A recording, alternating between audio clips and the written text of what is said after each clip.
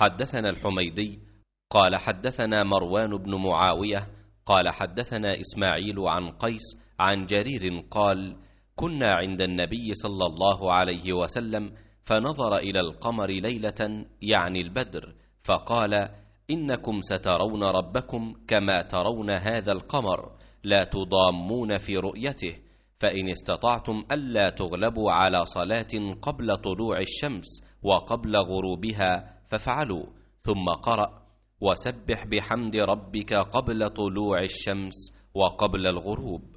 قال إسماعيل افعلوا لا تفوتنكم.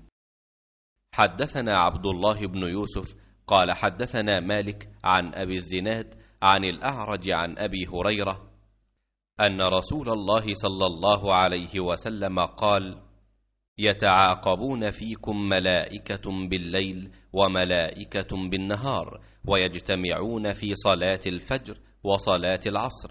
ثم يعرج الذين باتوا فيكم فيسألهم وهو أعلم بهم كيف تركتم عبادي. فيقولون تركناهم وهم يصلون وأتيناهم وهم يصلون.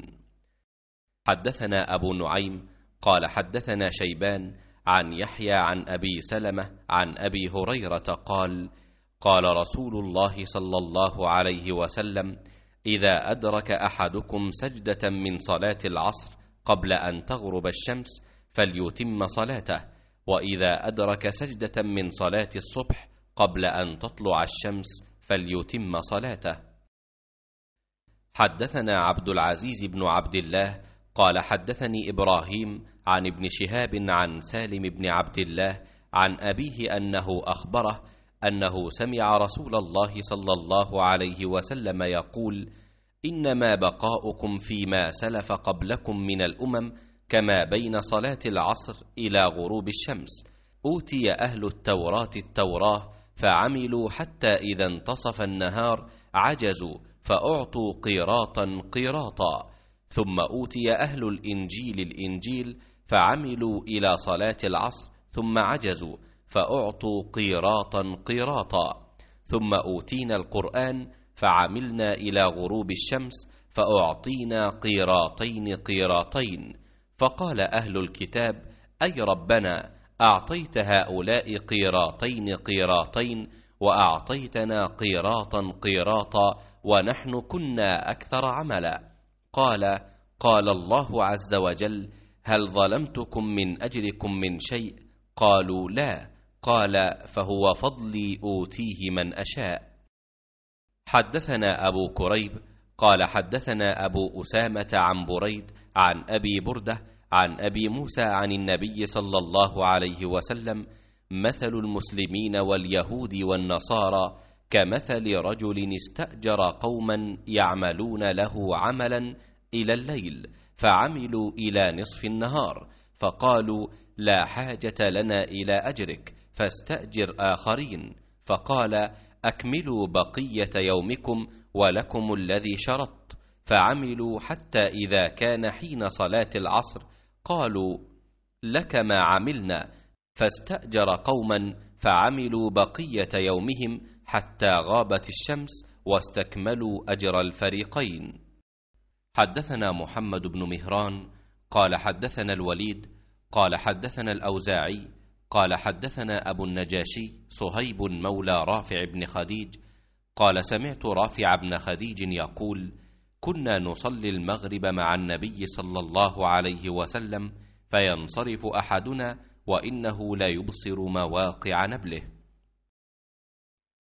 حدثنا محمد بن بشار قال حدثنا محمد بن جعفر قال حدثنا شعبة عن سعد عن محمد بن عمرو بن الحسن بن علي قال قدم الحجاج فسألنا جابر بن عبد الله فقال كان النبي صلى الله عليه وسلم يصلي الظهر بالهاجرة والعصر والشمس نقية والمغرب إذا وجبت والعشاء أحيانا وأحيانا.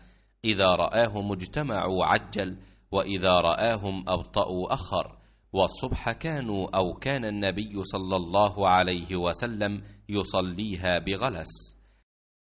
حدثنا المكي بن إبراهيم قال حدثنا يزيد بن أبي عبيد عن سلمة قال كنا نصلي مع النبي صلى الله عليه وسلم المغرب إذا توارت بالحجاب. حدثنا آدم قال حدثنا شعبة قال حدثنا عمرو بن دينار قال سمعت جابر بن زيد عن ابن عباس قال صلى النبي صلى الله عليه وسلم سبعا جميعا وثمانيا جميعا. حدثنا أبو معمر هو أبو عبد الله بن عمرو قال حدثنا عبد الوارث عن الحسين قال حدثنا عبد الله بن بريدة قال حدثني عبد الله المزني أن النبي صلى الله عليه وسلم قال لا تغلبنكم الأعراب على اسم صلاتكم المغرب. قال ويقول الأعراب هي العشاء. حدثنا عبدان قال أخبرنا عبد الله قال أخبرنا يونس عن الزهري قال سالم أخبرني عبد الله قال صلى لنا رسول الله صلى الله عليه وسلم ليلة صلاة العشاء وهي التي يدعو الناس العتمة ثم انصرف فأقبل علينا فقال أرأيتم ليلتكم هذه؟ فإن رأس مئة سنة منها لا يبقى ممن هو على ظهر الأرض أحد. حدثنا مسلم بن إبراهيم قال حدثنا شعبة عن سعد بن إبراهيم عن محمد بن عمرو هو ابن الحسن بن علي قال سألنا جابر بن عبد الله عن صلاة النبي صلى الله عليه وسلم فقال كان يصلي الظهر بالهاجرة والعصر والشمس حية والمغرب إذا وجبت والعشاء إذا كثر الناس عجل وإذا قلوا أخر والصبح بغلس. حدثنا يحيى بن بكير قال حدثنا الليث عن عقيل عن ابن شهاب عن عروة أن عائشة أخبرته قالت أعتم رسول الله صلى الله عليه وسلم ليلة بالعشاء وذلك قبل أن يفشو الإسلام فلم يخرج حتى قال عمر نام النساء والصبيان فخرج فقال لأهل المسجد ما ينتظرها أحد من أهل الأرض غيركم. حدثنا محمد بن العلاء قال أخبرنا أبو أسامة عن بريد عن أبي بردة عن أبي موسى قال كنت أنا وأصحابي الذين قدموا معي في السفينة نزولا في بقيع بطحان والنبي صلى الله عليه وسلم بالمدينة فكان يتناوب النبي صلى الله عليه وسلم عند صلاة العشاء كل ليلة نفر منهم فوافقنا النبي عليه السلام أنا وأصحابي وله بعض الشغل في بعض أمره فأعتم بالصلاة حتى ابهار الليل ثم خرج النبي صلى الله عليه وسلم فصلى بهم فلما قضى صلاته قال لمن حضره على رسلكم أبشروا إن من نعمة الله عليكم أنه ليس أحد من الناس يصلي هذه الساعة غيركم أو قال ما صلى هذه الساعة أحد غيركم لا يدري أي الكلمتين قال. قال أبو موسى فرجعنا فرحا بما سمعنا من رسول الله صلى الله عليه وسلم. حدثنا محمد بن سلام قال أخبرنا عبد الوهاب الثقفي قال حدثنا خالد الحذاء عن أبي المنهال عن أبي برزة أن رسول الله صلى الله عليه وسلم كان يكره النوم قبل العشاء والحديث بعدها.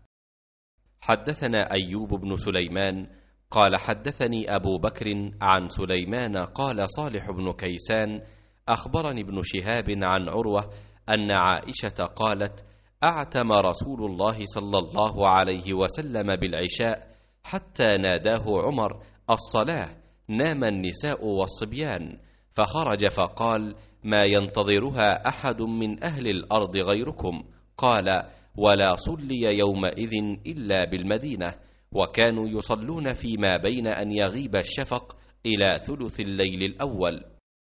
حدثنا محمود قال أخبرنا عبد الرزاق قال أخبرني ابن جريج قال أخبرني نافع قال حدثنا عبد الله بن عمر أن رسول الله صلى الله عليه وسلم شغل عنها ليلة فأخرها حتى رقدنا في المسجد ثم استيقظنا ثم رقدنا ثم استيقظنا. ثم خرج علينا النبي صلى الله عليه وسلم ثم قال ليس أحد من أهل الأرض ينتظر الصلاة غيركم وكان ابن عمر لا يبالي أقدمها أم أخرها إذا كان لا يخشى أن يغلبه النوم عن وقتها وكان يرقد قبلها. قال ابن جريج قلت لعطاء. فقال سمعت ابن عباس يقول أعتم رسول الله صلى الله عليه وسلم ليلة بالعشاء حتى رقد الناس واستيقظوا ورقدوا واستيقظوا. فقام عمر بن الخطاب فقال الصلاة؟ قال عطاء. قال ابن عباس فخرج نبي الله صلى الله عليه وسلم كأني أنظر إليه الآن يقطر رأسه ماء واضعا يده على رأسه. فقال لولا أن أشق على أمتي لأمرتهم أن يصلوها هكذا فاستثبت عطاء كيف وضع النبي صلى الله عليه وسلم على رأسه يده كما أنبأه ابن عباس. فبدد لي عطاء بين أصابعه شيئا من تبديد ثم وضع أطراف أصابعه على قرن الرأس ثم ضمها يمرها كذلك على الرأس حتى مست إبهامه طرف الأذن مما يلي الوجه على الصدغ وناحية اللحية لا يقصر ولا يبطش إلا كذلك. وقال لولا أن أشق على أمتي لأمرتهم أن يصلوا هكذا. حدثنا عبد الرحيم المحاربي قال حدثنا زائدة عن حميد الطويل عن أنس قال أخر النبي صلى الله عليه وسلم صلاة العشاء إلى نصف الليل ثم صلى ثم قال قد صلى الناس وناموا أما إنكم في صلاة ما انتظرتموها؟ وزاد ابن أبي مريم أخبرنا يحيى بن أيوب حدثني حميد أنه سمع أنسا قال كأني أنظر إلى وبيص خاتمه ليلة إذ حدثنا مسدد قال حدثنا يحيى عن إسماعيل قال حدثنا قيس عن جرير ابن عبد الله كنا عند النبي صلى الله عليه وسلم إذ نظر إلى القمر ليلة البدر فقال أما إنكم سترون ربكم كما ترون هذا لا تضامون أو لا تضاهون في رؤيته فإن استطعتم ألا تغلبوا على صلاة قبل طلوع الشمس وقبل غروبها فافعلوا. ثم قال فسبح بحمد ربك قبل طلوع الشمس وقبل غروبها. حدثنا عمرو بن عاصم قال حدثنا همام عن قتادة عن أنس أن زيد بن ثابت حدثه أنهم تسحروا مع النبي صلى الله عليه وسلم ثم قاموا إلى الصلاة. قلت كم بينهما؟ قال قدر خمسين أو ستين يعني آية. حدثنا حسن بن صباح سمع روحا قال حدثنا سعيد عن قتادة عن أنس بن مالك أن نبي الله صلى الله عليه وسلم وزيد بن ثابت تسحرا فلما فرغا من سحورهما قام نبي الله صلى الله عليه وسلم إلى الصلاة فصلى. قلنا لأنس كم كان بين فراغهما من سحورهما ودخولهما في الصلاة؟ قال قدر ما يقرأ الرجل خمسين آية. حدثنا إسماعيل بن أبي أويس عن أخيه عن سليمان عن أبي حازم أنه سمع سهل بن سعد يقول كنت أتسحر في أهلي ثم يكون سرعة بي أن أدرك صلاة الفجر مع رسول الله صلى الله عليه وسلم.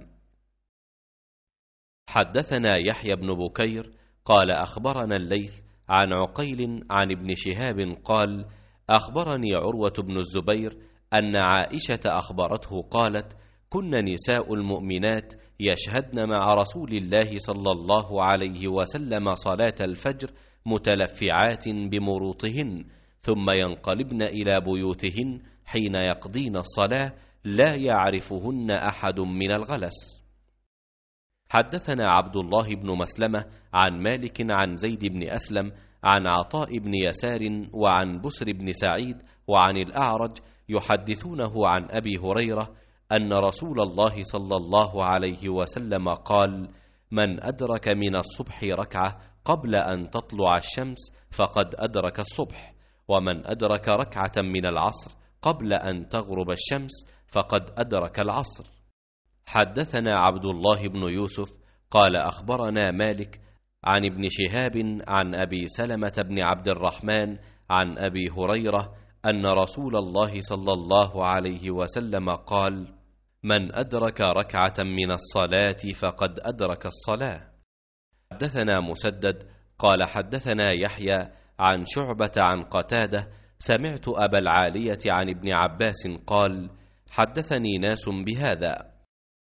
حدثنا مسدد قال حدثنا يحيى بن سعيد عن هشام قال أخبرني أبي قال أخبرني ابن عمر قال قال رسول الله صلى الله عليه وسلم لا تحروا بصلاتكم طلوع الشمس ولا غروبها.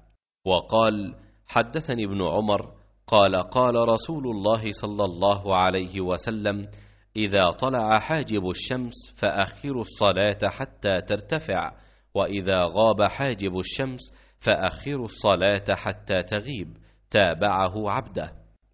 حدثنا عبيد بن إسماعيل عن أبي أسامة عن عبيد الله عن خبيب بن عبد الرحمن عن حفص بن عاصم عن أبي هريرة أن رسول الله صلى الله عليه وسلم نهى عن بيعتين وعن لبستين وعن صلاتين نهى عن الصلاة بعد الفجر حتى تطلع الشمس وبعد العصر حتى تغرب الشمس وعن اشتمال الصماء وعن الاحتباء في ثوب واحد يفضي بفرجه إلى السماء. وعن المنابذة وعن الملامسة. حدثنا عبد الله بن يوسف قال أخبرنا مالك عن نافع عن ابن عمر أن رسول الله صلى الله عليه وسلم قال لا يتحرى أحدكم فيصلي عند طلوع الشمس ولا عند غروبها حدثنا عبد العزيز بن عبد الله قال حدثنا إبراهيم بن سعد عن صالح عن ابن شهاب قال أخبرني عطاء بن يزيد الجندعي أنه سمع أبا سعيد الخدري يقول سمعت رسول الله صلى الله عليه وسلم يقول لا صلاة بعد الصبح حتى ترتفع الشمس ولا صلاة بعد العصر حتى تغيب الشمس. حدثنا محمد بن أبان قال حدثنا غندر قال حدثنا شعبة عن أبي التياح قال سمعت حمران بن أبان يحدث عن معاوية قال إنكم لتصلون صلاة لقد صحبنا رسول الله صلى الله عليه وسلم فما رأيناه يصليها ولقد نهى عنهما يعني الركعتين بعد العصر.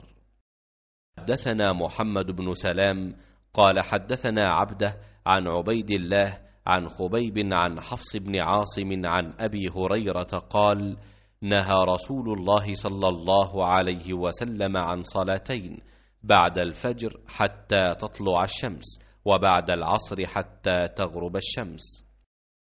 حدثنا أبو النعمان حدثنا حماد بن زيد عن أيوب عن نافع عن ابن عمر قال أصلي كما رأيت أصحابي يصلون لا أنهى أحدا يصلي بليل ولا نهار ما شاء غير ألا تحروا طلوع الشمس ولا غروبها. حدثنا أبو نعيم قال حدثنا عبد الواحد بن أيمن قال حدثني أبي أنه سمع عائشة قالت والذي ذهب به ما تركهما حتى لقي الله وما لقي الله تعالى حتى ثقل عن الصلاة وكان يصلي كثيرا من صلاته قاعدا. تعني الركعتين بعد العصر وكان النبي صلى الله عليه وسلم يصليهما ولا يصليهما في المسجد مخافة أن يثقل على أمته وكان يحب ما يخفف عنهم. حدثنا مسدد قال حدثنا يحيى قال حدثنا هشام قال أخبرني أبي قال قالت عائشة يا ابن أختي ما ترك النبي صلى الله عليه وسلم السجدتين بعد العصر عندي قط. حدثنا موسى بن إسماعيل قال حدثنا عبد الواحد قال حدثنا الشيباني قال حدثنا عبد الرحمن بن الأسود عن أبيه عن عائشة قالت ركعتان لم يكن رسول الله صلى الله عليه وسلم يدعهما سرا ولا علانية. ركعتان قبل صلاة الصبح وركعتان بعد العصر. حدثنا محمد بن عرعرة قال حدثنا شعبة عن أبي إسحاق قال رأيت الأسود ومسروقا شهدا على عائشة قالت ما كان النبي صلى الله عليه وسلم يأتيني في يوم بعد العصر إلا صلى ركعتين. حدثنا معاذ بن فضالة قال حدثنا هشام عن يحيى هو ابن أبي كثير عن أبي قلابة أن أبا المليح حدثه قال كنا مع بريدة في يوم ذي غيم فقال بكروا بالصلاة فإن النبي صلى الله عليه وسلم قال من ترك صلاة العصر حبط عمله حدثنا عمران بن ميسرة قال حدثنا محمد بن فضيل قال حدثنا حسين عن عبد الله بن أبي قتادة عن أبيه قال سرنا مع النبي صلى الله عليه وسلم ليلة فقال بعض القوم لو عرست بنا يا رسول الله. قال أخاف أن تناموا عن الصلاة. قال بلال أنا أوقظكم. فاضطجعوا وأسند بلال ظهره إلى راحلته فغلبته عيناه فنام. فاستيقظ النبي صلى الله عليه وسلم وقد طلع حاجب الشمس فقال يا بلال أين ما قلت؟ قال ما ألقيت علي نومة مثلها قط. قال إن الله قبض أرواحكم حين شاء وردها عليكم حين شاء. يا بلال قم فأذن بالناس بالصلاة. فتوضأ فلما ارتفعت الشمس وبياضت قام فصلى. حدثنا معاذ بن فضالة قال حدثنا هشام عن يحيى عن أبي سلمة عن جابر بن عبد الله أن عمر بن الخطاب جاء يوم الخندق بعدما غربت الشمس فجعل يسب كفار قريش. قال يا رسول الله ما كدت أصلي العصر حتى كادت الشمس تغرب قال النبي صلى الله عليه وسلم والله ما صليتها فقمنا إلى بطحان فتوضأ للصلاة وتوضأنا لها فصلى العصر بعدما غربت الشمس ثم صلى بعدها المغرب.